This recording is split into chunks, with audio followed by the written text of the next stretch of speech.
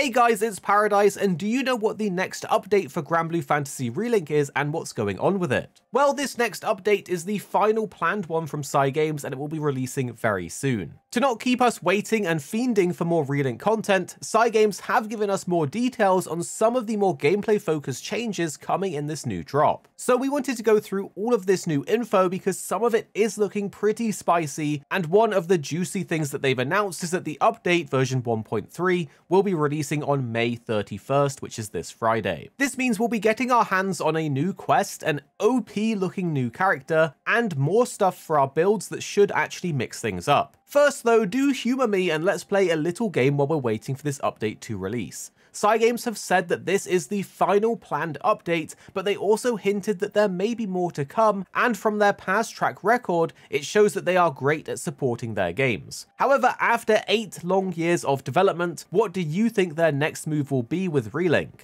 Do you think they will A, continue to update the game with new content? B, leave it here and move the team onto the next game like Project Awakening instead? Or C, will they move on to a sequel of Relink? It would be fantastic to know what you think, so drop it in the comments so we can look back on the people that were right with those 1000 IQ big brain plays. But for now, we have update 1.3 to look forward to, and one of the cool new things that's been revealed in this update is some new sigils that look like they will be quite impactful. These new sigils will be Berserker Echo, Spartan Echo, and Super Ultimate Perfect Dodge. They each look pretty spicy, so here's what they do. Berserker Echo says boosts chance of triggering supplementary damage the higher base attack power is. Supplementary damage dealt by other sources will be added to that damage. Spartan Echo says boosts chance of triggering supplementary damage the higher base health is. Supplementary damage by other sources will be added to that damage. Both of these look very interesting and may become a best in slot trait to have in your build, as we know that supplementary damage is key for pretty much every build to increase your DPS, as this is one stat that basically circumvents the damage cap. I don't know what you guys think, but the description of these skills is a bit confusing at the moment, where the top line makes it sound like it increases the chance of dealing supplementary damage or triggering supplementary damage, while the second line makes it sound like it adds additional damage alongside other sources of supplementary damage. Either way, they are definitely trying to mix things up here, and we can definitely see that people will probably lean towards Berserker Echo instead of Spartan Echo. Because Berserker is tied to your attack power rather than your health, this makes sense if damage is your focus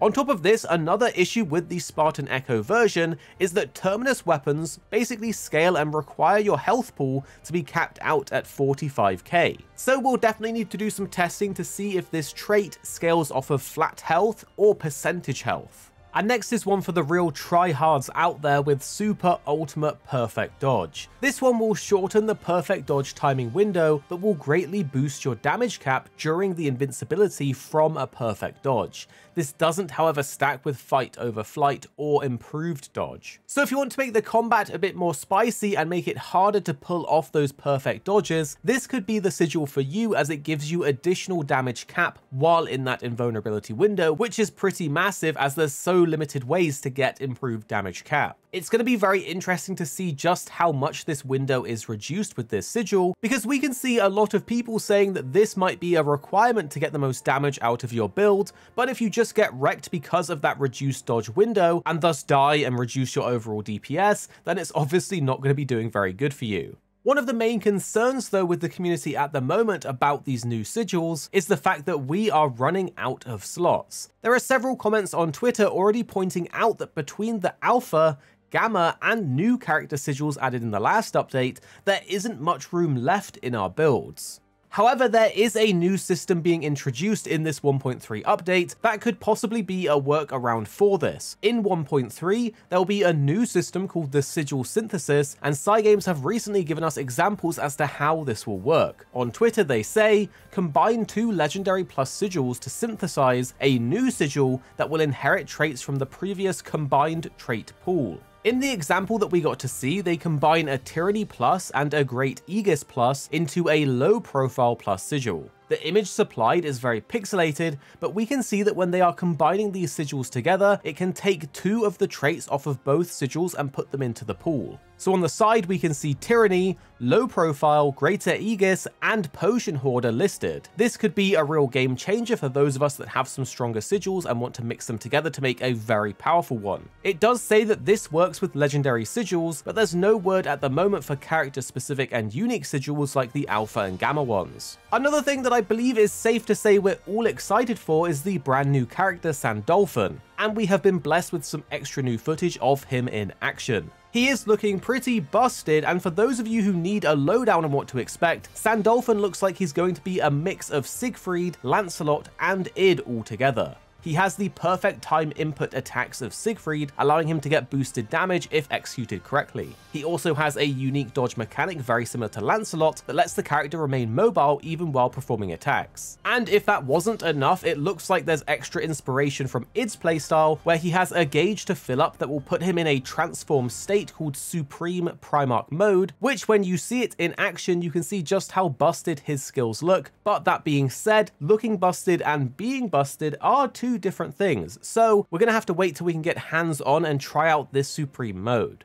It's also confirmed that Sandalphon will have two different Skybound arts because he has an additional one available to him when he is in Supreme Primarch mode. There isn't any solid information on the quests being added into the 1.3 update, but we do know that there will be new Fate episodes, weapons, and main story that will be related to Sandalphon, but they have confirmed there will be new Proud difficulty and side quests added in. If we had to hazard a guess, we're thinking there could be a new Proud difficulty level fight against one of our favourite bosses, Piet A. We think this because it was featured heavily in the reveal trailer for the update, and it was a really awesome fight. There's also a bunch of quality of life changes coming in and the new photo mode, so there's quite a lot to look forward to. For now though, we will leave you with the question that we asked earlier at the start of the video to put in the comments below, and if you want to check out Sandalphon in action properly, here is the new gameplay trailer of him. I give us passing marks. Behold, the power of the Supreme Primarch! Catch! Ethereal? Prison! Be gone! Let's finish this quickly. The finale! Uh, uh, Such conceit. I see.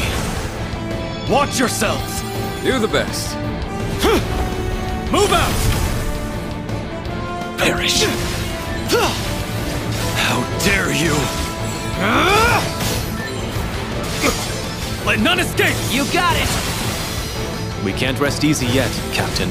Understood. Let judgment ring across the land! Ain Soph Aur! Grand Blue Fantasy, Relink.